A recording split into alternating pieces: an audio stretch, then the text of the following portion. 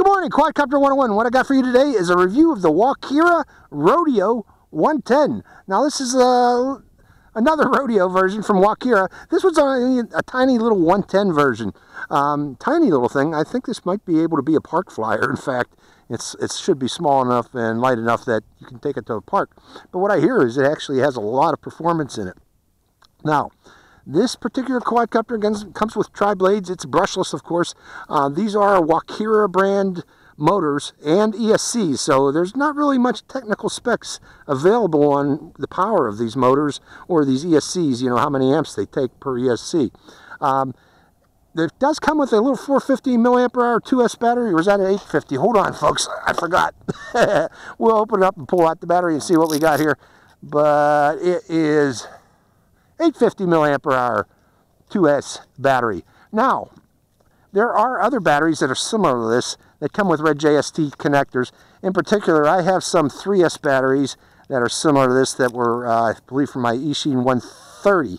And I did plug it into this quadcopter, but I, what I'm hearing is those uh, 3S batteries tend to overheat these ESCs. They, they start to get quite warm, so I would recommend sticking with a 2S battery vice a 3S battery on this particular quadcopter.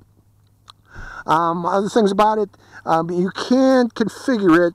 Um, it comes with uh, Betaflight 0.3.3 installed. I do not recommend upgrading that though to a, a different version of Betaflight um, because you probably will have problems being that this is a Walkera bird. They tend to be kind of proprietary in how you up, upgrade the things in this. So, uh, but you can um, configure the PID settings and such uh, via this port right here, uh, micro USB port. Um, additionally, underneath the battery is access to the um, FPV transmitter. Now, this the FPV transmitter in this version that I got is 200 milliwatt and 600 milliwatt selectable, 40 channels. Now, you in, when it's set to 200 milliwatt low power, um, you only have bands B which is only eight or eight channels that you'll be able to select. But if you go to high power setting by holding up, there's a little a little uh, push button right beside the channel switches. You can select um, um, 600 milliwatt, and by doing such, you can select bands A, B, C, D, I believe E on this uh, for the other 40 channels. And again, if you hold that button down for 40 seconds, you also get 600 milliwatt power out of this. And that's what I got it set up to, 600 milliwatt power. This is your FPV antenna sticking out the center, and you two you have two diversity receiver antennas for the receiver on this particular quadcopter. Uh, the camera on this is a little 600 TVL, I believe. Let me double check that. I got it written down on the back of my transmitter. Uh, yes, 600 TVL camera. Um, it is not the best uh, FPV camera in the world, but it's usable. And we're going to try to demonstrate that today, uh, what it looks like uh, while flying. I'll be recording the video uh, via my DVR goggles. So um, it, I got the ready to fly version. It comes with the Devo 7. Now the Devo 7 is your basic uh, D Dimension uh, Walkera transmitter. Uh, you cannot flash this to um, deviation software because there is no micro USB port behind this little hole in the back here. No USB port. So this cannot be flashed to uh, deviation software. So um, it's they're one of their bottom of the line transmitters from Walkera, but it's usable. And we're going to use it with this particular quadcopter. So let's go for a flight and see how the little Walkera Rodeo performs. Hope you enjoy this flight. Okay, we are going to first fly this in angle mode, and then I'm going to switch to acro. I have the switches set up so uh, up is acro, center is horizon, and bottom is acro. And we're going to start the motors. Oh wait, let's see. Okay, starting the motors is down to the left. I'm sorry folks. And we'll go up a bit, try it first in angle mode just to see how it performs. Got a bit of a wind from my right here. I was just trying the Eachine Falcon 120, which is a little bandit.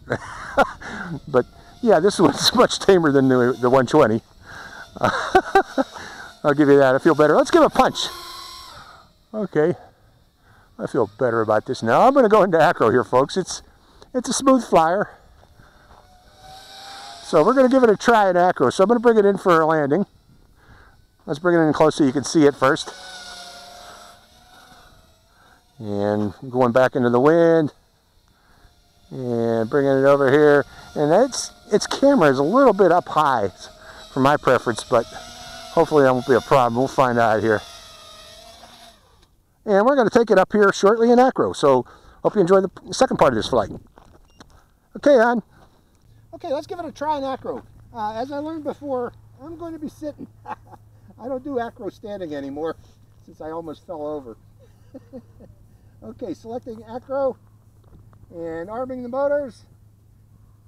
Okay, and away we go.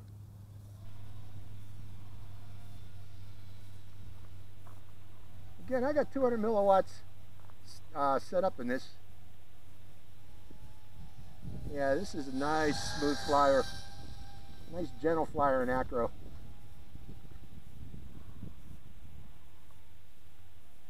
Good for new flyers that are learning acro. Actually, I like this one. Nice and smooth. With its, you know, its settings right out of the box, it's nice and smooth. Let's give it a little more pitch, see if we get a little more speed on it. But yeah, it's a nice smooth flyer in acro. Not twitchy at all. Very gentle. I got a little bit of a breeze I'm fighting today. Let's get a little closer to the ground to the bushes. Let's rush the bushes. I'm gonna rush through the bushes. Go again. Whoa, I'm getting dizzy. the wind is hitting it a bit, bobbing it around on me.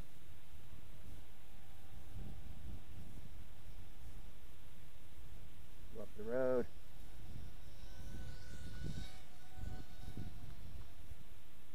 Yeah, the 600 milliwatts gives it plenty of power on the transmitter. You see it real good.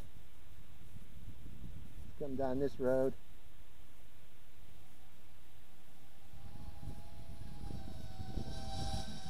So, it, nice flyer.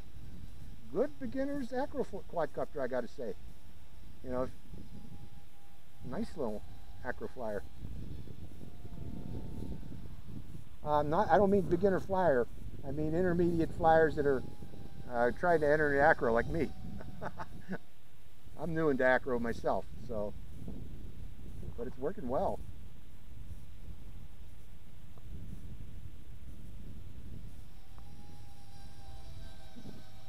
Nice and easy. The wind's picking up here.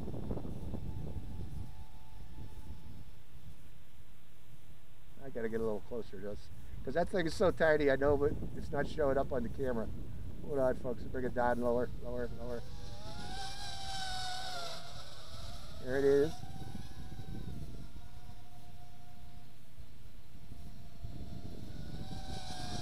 Hey, by the way, how do you like my new car? I still got the Element, but I got rid of the CRV. Uh, the CRV was having big problems, folks. Uh, and I needed something bigger and better. So I, that's a Sienna. Got all-wheel drive though. Whoa! Oh. Pay attention.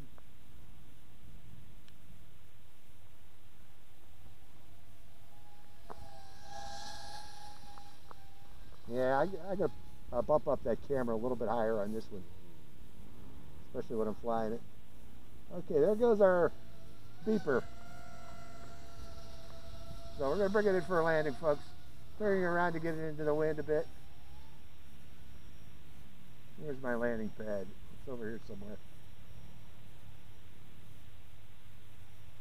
Let's see how close I can get the landing pad today. More. A little bit okay. more, a little bit more. A little bit more. Uh, no, no. I'm out of breath. Oh. That's it. okay, locking it. So, that's the first flight of the Rodeo 110. Nice little quadcopter. Nice and gentle flyer uh, for acro. Um, I guess you can adjust the PID settings to get, make it more snappy, but again, right out of the box, there goes its beeper.